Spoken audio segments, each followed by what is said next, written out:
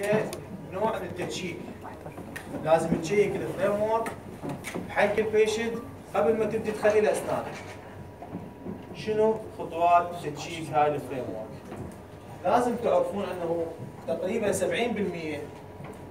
من الشغل المضبوط مو الشغل المو مضبوط. بعد ما يطلع من المختبر ما يقعد على ال cast مالته. ترى ضوء بالاخير اذا 75% شلون؟ ضوء دي لا تشوف واضح شوي غياب مو غياب هسه يخصون غياب ونطفيه اذا 75% من الفريم ورك هي ما تقعد بمكان. حتى لو كان الشغل مضبوط. لازم يصير نوع من الدايمنشنال تشيك تمام؟ شلون تجي أنت تشيك الفريم ورك؟ إجتك الفريم ورك كامله من المختبر. راسا نجيب ورقات حق ال patient تشيكها؟ لا. لا أكو pre-clinical إذا أكو pre-clinical inspection هي على ال cast تشيك. شنو الشغلات اللي مطلوب منك تشيكها pre-clinical على ال cast هاي تجيك MCQ pre-clinical inspection and adjustment of framework includes أجيب لك مثلا وحدة من ال pre-clinical ووحدة clinical مثلا أجيب لك occlusion أنت ما تشيك ال occlusion pre-clinically تمام؟ اذا شو تشيك أول مرة؟ rest seat should be fully seated راح تجي على ال rest seat ات تشوف ال rest مالتك قاعد بال rest seat صحيح؟ لو أكو فراغ إذا أكو فراغ يتعدل ما يخالف إحنا ما يصير نلعب بها ال framework بس إذا هو ال rest ما قاعد بال rest seat نضطر شو نسوي؟ تعدله شوية تاخذ من ال rest لحد ما يقعد fit على ال framework اذا أول نقطة بال pre-clinical adjustment هو rest seat adjustment تنتبه على ال reciprocal arm اللي هو ما يكون قاعد بال undercut reciprocal arm and the proximal plate should be contacting the cast. لازم تكون fit لزق ويا ال cast أي فراغ بينها وبين ال cast تعدله قبل لا تخلي حق ال patient ال framework lingual plate major connector دائما يصير به هنا فراغ. تعدله على ال cast. اذا lingual plate and maxillary palatal major connector.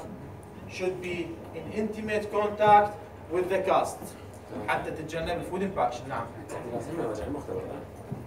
لا أنت تحاول تعدله بيدك الفراغ البسيط مثلا إذا عندك هنا هاي المنطقة ما قاعدة. مثلا هاي المنطقة هاي المنطقة ما قاعدة. شنو معناته هاي المنطقة ما قاعدة؟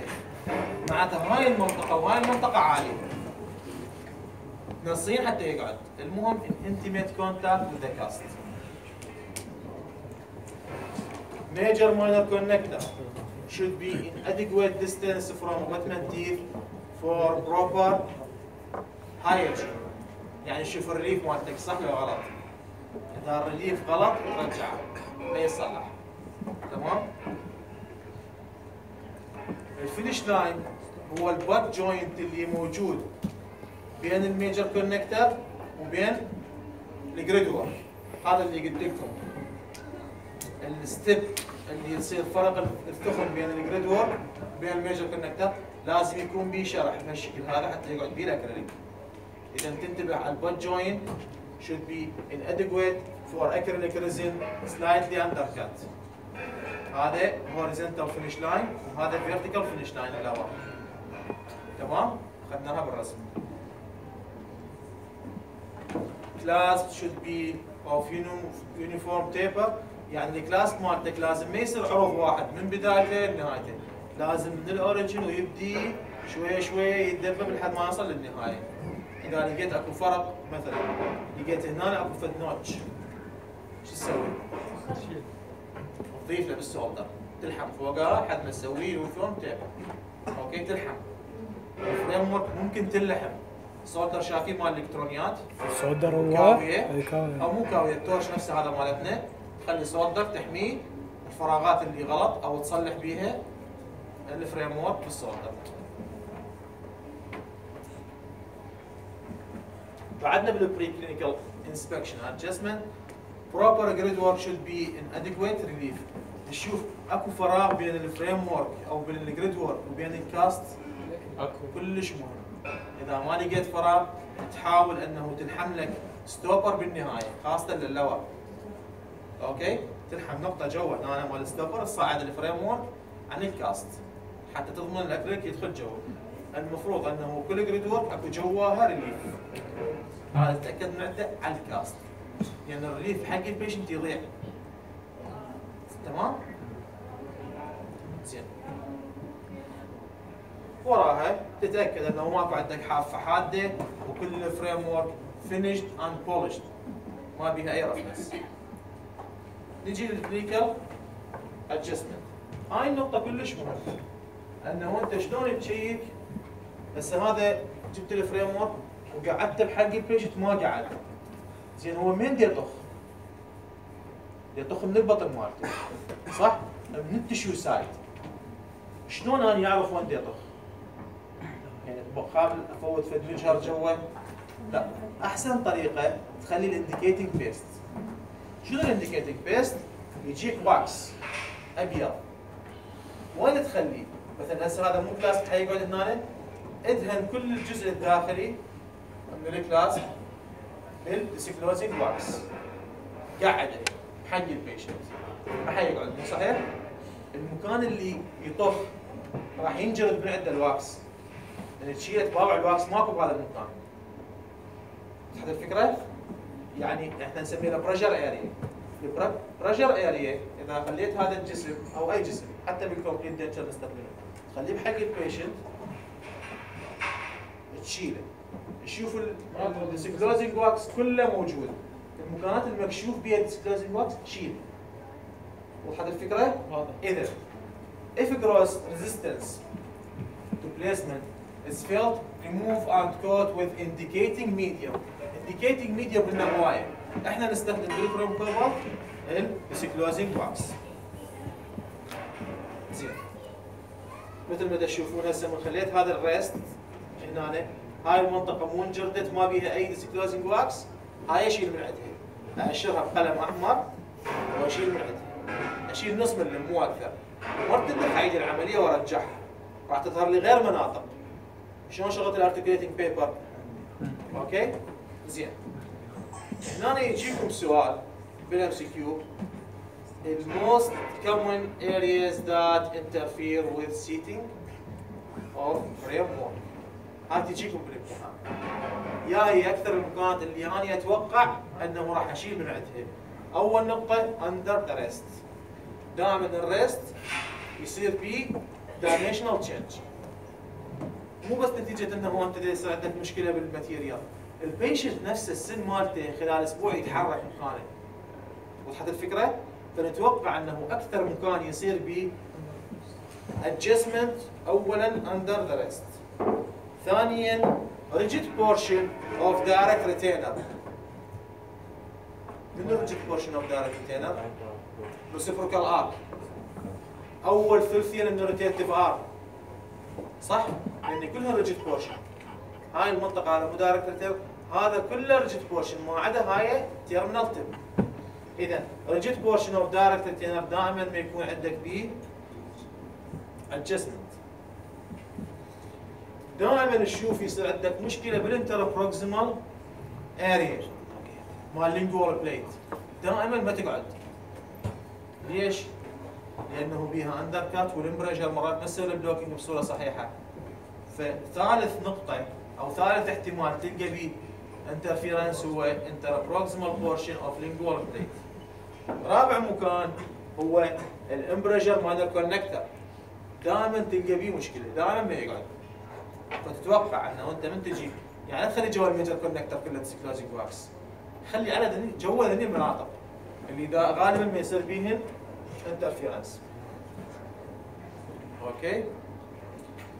دائما ال shoulder مال butterfly يصير بيه interference shoulders of butterfly هاي المنطقة. ليش يعني قلنا يراد لها preparation زايد. فدائما طبيب الأسنان يخاف يسوي preparation زايد فبالتالي يصير بيها interference من تشوفون ال embrasure clasp من نسوي له preparation يعني شكله مخيف يصير كأنه أنت ماخذ السن كلش هوايه لأن هاي المنطقة يراد لها thickness قوي فنشيل هواي من السن دائما طبيب الأسنان ما يقدر إيش قد يشيل يصير عنده interference جوا ال shoulder طبعا شلون نحلها؟ نرجع ناخذ من السن؟ والله شوف أنت المشكلة أنه تاخذ من السن غلط. راح تقول لي ياخذ من ال shoulder نفسه. مو أنت عندك thickness معين لل shoulder. إذا عبرته إذا صار أقل من واحد ونص ملم هذا ذبه ينكسر. فاحتمال بهاي الحالات نقص ال shoulder كليته ونسوي preparation جديد ونسوي soldering ففيلا يصير بيها هذا الفكرة؟ اذا بعد ما خلصت ال adjustment راح تشيك ال occlusion، ال occlusion كلكم تعرفون ال articulate paper شايفين مشتغل لكم به اشتغلتوا صف ثالث؟ هذا شنو ال articulating paper؟ articulating paper بالضبط مثل ورق الكربون هو ورق كربون.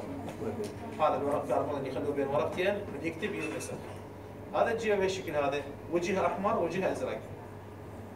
خليه بين الأسنان تقول له يعني أطبق. عليه. حرك يمنى يسرى حتى تسوي ال functional movement شده المكانات اللي راح تكون عالية بال occlusion راح تنصبغ أحمر. نفس الشيء تطلع له framework تتباوع يا مكان انصبغ أحمر تشيل الزايد من عنده. نص ملم مو أكثر. ترجعها مره تلف وتكرر العملية ثلاث مرات. حتى تضبط العلو مال ال framework مثل ما تشوفون ها بالحشوات الضوئية كلها لازم تستخدمها. حتى مرات بلا ما نقدر نستخدم عنده high spot patient نجيب articulating paper نخليه بحق ال patient يعض عليه يكز يمنى يسرى بالشكل هذا. المكانات العاليه راح تنصبغ خلاص. أوكي mark occlusal contact with thin articulating paper. And remove a framework from adjustment. راح يجيك إذا عندك patient at the upper lower زين؟ patient at the upper framework و lower framework جاي تشيكل شلون تشيكل؟ عفوا. تخلي بكيفك ما تخلي لور تشيكها زين. تشيل كل ال- ال high spot مالتها. وحدها. وراها شيل ال lower خلي ال upper وحدها وهم شيل كل ال high spot. آخر شيء تخليهم اثنيناتهم. يعني ما يصير تخلي ال lower كتسلسل؟ تخلي ال lower شيكتها شفتها زينة. وهي بمكانها تخلي ال upper غلط. lower تنشال.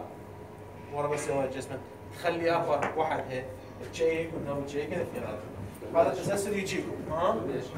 ليش؟ احتمال. ال interference بده يصير. بده يصير مو ويا ال natural أنا اللي يهمني ويا ال natural إيش يصير؟ فأنت إذا خليت لي هاي واحد هيك okay شيكتها ما بيها interference خليت ال upper ال upper وياها إيش يصير؟ يصير interference ويا ال- ال major connector مال ال lower إيش راح تسوي؟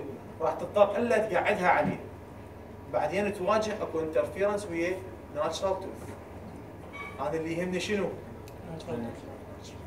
ال framework ممكن تتبدل تمام؟ تسلسل افتهمتوه وراها عاد ترجعها حتى تسوي لها finish الساعة 6 والله إحنا متأخرين. فاكو محاضرة هم سهلة كلش بسيطة. عندكم إياها؟ إحنا المحاضرات الأخيرة كلش سهلات